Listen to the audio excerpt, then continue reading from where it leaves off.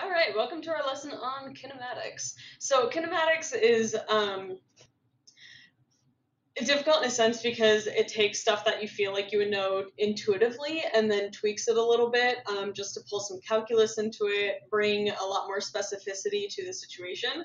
Um, so, what I'm hoping is that you continue using this intuition that you've built throughout your life about how things move and speeds and all those types of things, but then just fine tune it with these calculus concepts. And there are like huge applications here in physics. So, if you've taken that or had any chance to study physics, um, then hopefully that kind of supports your understanding of kinematics and calculus here. Okay, so I'm working on page 266, example 28 and I have already included the equation they give you, uh, but let's go ahead and read the problem and see what they're asking us to do. So it tells us that a particle is moving in a horizontal line uh, so that its position from a fixed point after t seconds, where t is positive, greater than or equal to zero, um, is given by this uh, this equation here. So in kinematics and physics, you're going to find that position functions are represented by an s, so S is the position in, rep, um, in relation to time t. So S of t is a function. And then velocity is going to be the derivative that, of that position function, right? Because derivatives or rates of change tell you how quickly your position is changing. And if your position is changing, that's just a velocity or that's like your speed, but really velocity because speed is not direction sensitive and velocity is. Um, Okay, so the first part says find the position, velocity, and acceleration of the particle after one second. So as you can see, I've organized my space as position, velocity, and acceleration so that I can kind of keep a clear understanding of what I'm finding um, and not get confused here. So if I find the derivative of position, that would be like s prime. Well, that tells me how quickly my position changes, and that's literally just velocity. Velocity tells you how quickly your position changes. So that first derivative is your velocity function. Notice that it's just, you know, it's not v prime or anything, it's just v, right? v of t. So my velocity function is given by the first derivative of this, which winds up being something like 10t minus 4t cubed.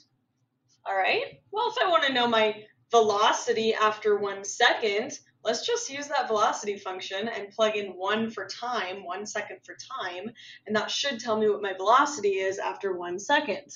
So let's do v of 1, and I find that this would be 10 minus 4 times 1 cubed, and essentially it's just the number 6. Okay, so my velocity after one second is equal to 6. And again, these are calculus ideas getting pulled in to what we already understand about position, time, all that stuff. Okay, now the connection between velocity and acceleration, um, I almost like to think about in terms of like driving a car. So, you know, the gas pedal can also be called an accelerator, right? Press down on the accelerator. Um, so it's basically how quickly your velocity changes. Um, if I have positive acceleration, that means I'm speeding up. So I might start in my car going at like a constant speed.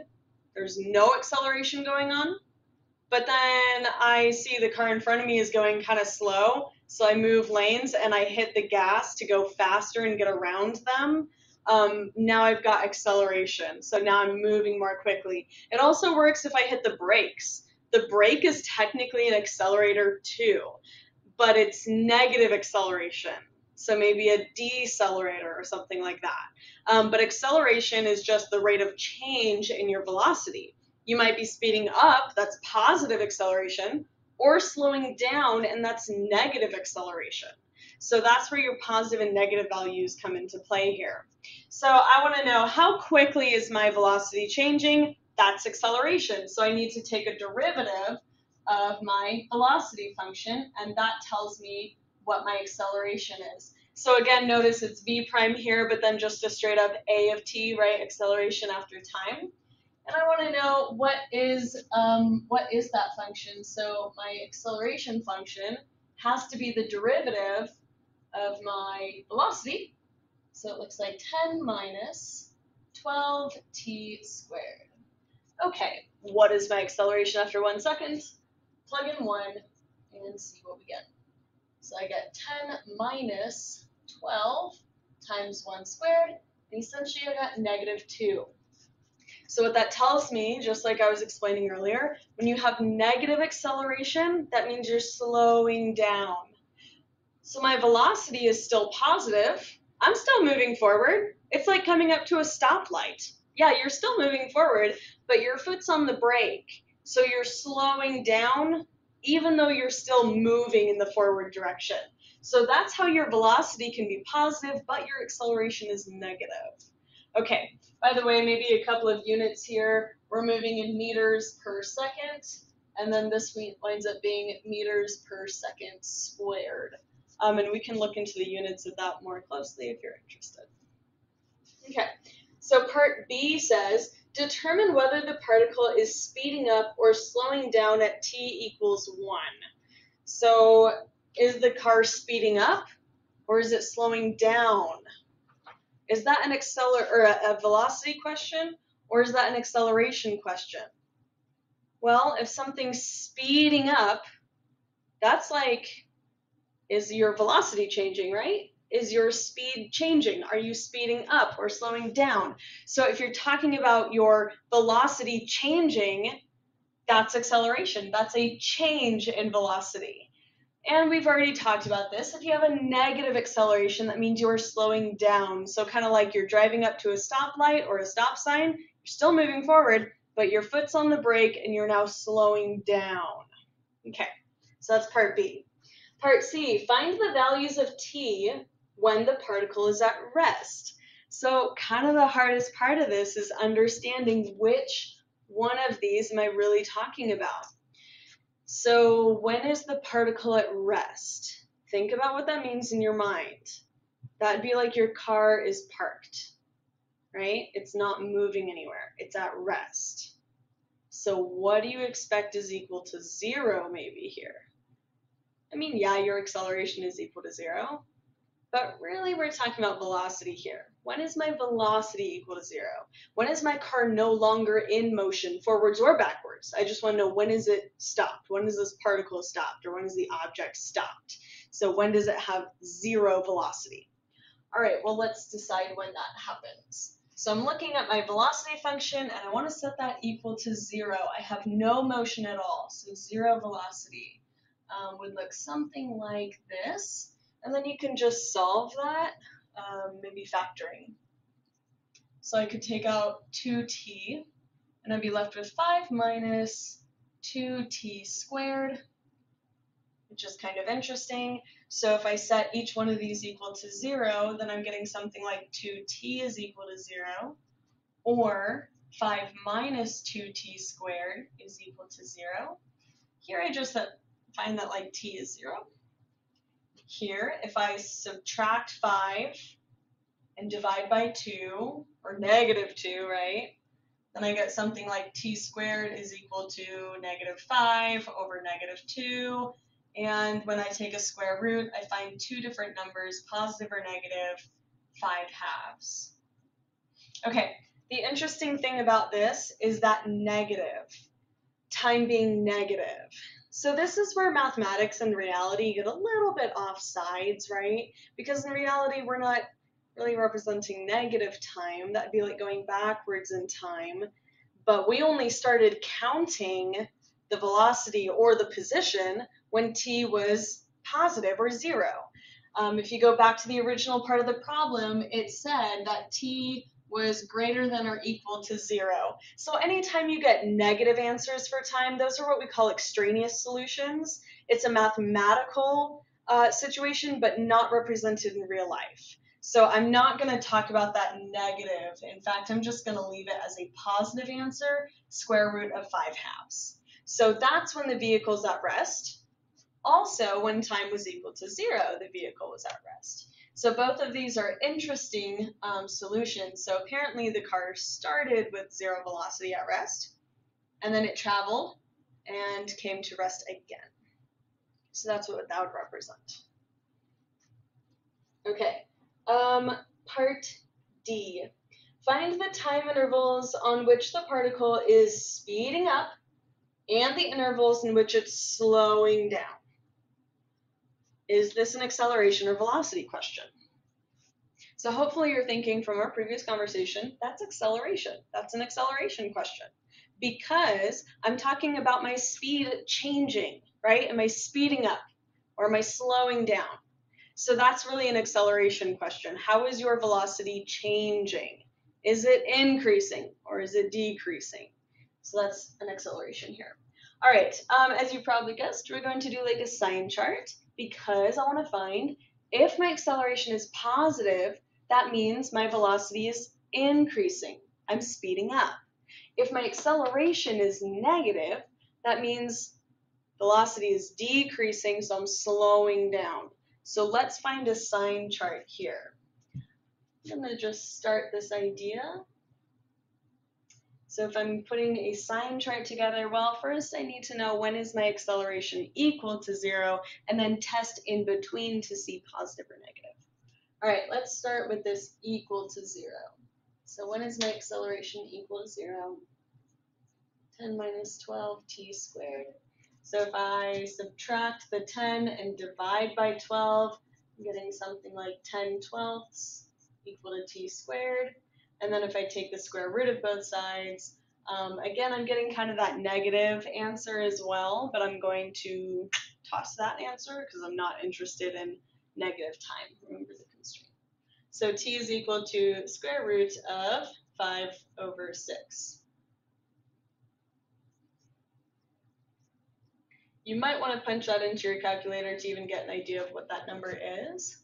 Um, but for now, I do know that 0 is less than it. So what's my acceleration when time is equal to 0? Let's take that and plug it in up here.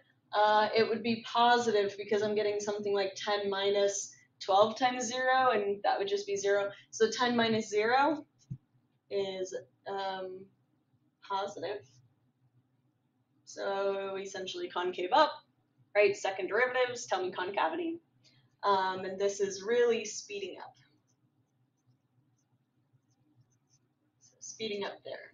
And that interval, if I want to be careful, uh, is really a matter of going from zero, because time is either zero or positive. So I'm speeding up anywhere from zero to square root of five over six. And then over here, let's say if I grab something I know is bigger, like I know that 3 is going to be bigger than this number here. So let's take 3 and plug that in. Well, 3 squared would be 9. 12 times 9 is pretty big. 10 minus that, definitely negative. All right, so here I am slowing down. Here I'm slowing down, and that means anything from square root of 5 over 6. Um, well, I guess just anything above 5 over 6 is when it's going to be slowing down. So I don't really need anything on this side of that. All right, so I've created some space for myself on this last question because it requires a bit more work and pulling some things together and thinking to get this correct. So the last question, part E, says, find the total distance the particle travels in the first three seconds. Okay, the word distance there is key. It's different than displacement. So remember that displacement means you could have maybe a positive or negative position. If I'm talking about like the origin being right here, then if I move forwards from the origin, that's positive displacement. But if I move backwards from the origin, that's negative displacement. And distance does not work that way. So distance actually says, hey, I don't care where your origin is. Anywhere that you move from the origin, I'm going to count as like distance traveled, right? Like you still went that distance, so we give you credit for going that distance. Um, displacement is not that way, however. So the question says distance we need to be really mindful about whether or not our little particle dude is moving forwards or backwards. Because this is a displacement equation. It's a displacement function. It does not add things up in a distance kind of way. it'll calculate your displacement from the origin. So it's important to have that distinction. Um, for example, this function might look something like this. So it would be counting this as being positive distance away. And then this would be negative distance away. So if I try to add the positive and negative, some of those um, some of those meters basically are getting canceled out. Okay, all of this to say that I need to think in terms of when is this thing moving forwards and when is it moving backwards? Find those distances and add them together. Okay, I know from previous work that the particle was at rest at a couple of times, sorry, zero was also another time. So from square root 5 over 2 to 0, or 0 to 5 over 2, this thing was at rest. So was it moving forwards in between or was it moving backwards in between? Let's take a look at that. So if I want to see my velocity, I know that the particle was at rest at 0 seconds, and it was at rest at square root of 5 over 2 seconds. By the way, if you plug this into a calculator, it's about 1.58 seconds. So 3 seconds is somewhere over here. All right, was my particle moving forward or backwards at either of these intervals? So I might grab a number from in between here and plug it in to see if my velocity is positive. Positive forwards, negative backwards. So let's take 1. If I plug 1 in here, I get 10 minus 4, um, which is 6. And we actually already knew that from previous work. So that means it's positive. I'm moving forwards. Okay, so that means all that distance is counted as positive 2. Uh, over here, if I say the number 2 and plug that in for my velocity, well, 2 cubed is 8, 4 times 2 is 32, 10 times 2 is 20. So 20 minus 32, that's negative. My particle is moving backwards here, so I need to be really mindful about how I calculate those distances. All right, in order to do this successfully, I need to essentially take this amount of motion and add it to this amount of motion, counting both of those as positive. So let's kind of see what happens here. So to find the motion that we're moving forwards, I'm just going to find the displacement uh, at time square root 5 over 2. So because I'm moving forwards, I know that that's already going to be a positive amount, so I don't really need to do any tricky workarounds. All right, what was the displacement after uh, square root 5 over 2 seconds? So plugging that in, I get square root 5 over 2 squared minus um, square root 5 over 2 to the fourth power. Um, so the square kind of undoes that root, and I get what, like 25 over 2 minus. Uh, this, you know, the fourth power is just kind of like a squared being squared. So I can kind of apply it as being like squared uh, and then squared. So that first um, power of 2 gets rid of the square root, and the second power of 2 uh, squares the number inside. So that becomes 25 over 4. And then combine our fractions with like terms, we get 50 over 2 minus 20, how about, how about 50 over 4? Minus 25 over 4 and this is just what 25 um, fourths. And if I want to maybe make that into a decimal real quick, so I kind of have an idea what's happening, 4 goes in here um, six times with one left over. So 6.25 meters in the forwards direction. All right, how far did we go in the backwards direction? So I basically need to find the distance or the change in motion um, that I went from three seconds to that, that resting spot right there in the middle of the root 5 over 2. So to do that, I need to find the position after 3 seconds and subtract the position after square root 5 over 2 seconds. Okay, so um, for the position at 3 seconds, I just plug that in again. So 5, 3 squared minus 3 to the fourth power. I already know what this value is. So how about subtract 6.25 from right here. Um, okay, squared gives me 9. 9 times 5 is 45. And then 3 to the fourth power is 81. Uh, and then minus 6.25. I'm going to grab my calculator and finish that off. So 45 minus 81 minus 6.25 equals negative 42.25. Okay, so I'm hoping that this negative value does not bother anybody. I knew that it was negative because I was going backwards. So this idea, again, back to distance, I still want to count this as positive when I add it to that value.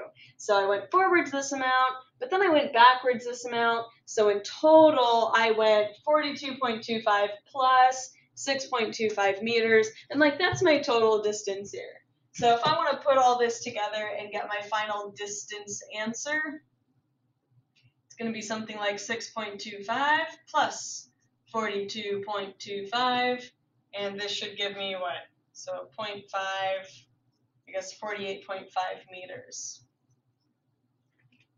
So it's a very different question to be asking about the distance an object moves versus a displacement at a certain time. Displacement, just plug it in and like that's that's your answer. You're done.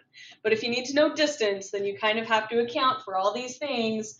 Um, you know, being at rest or being in motion forwards or backwards. So just be really careful about the words that you're using and the words that the question is using so you answer it correctly.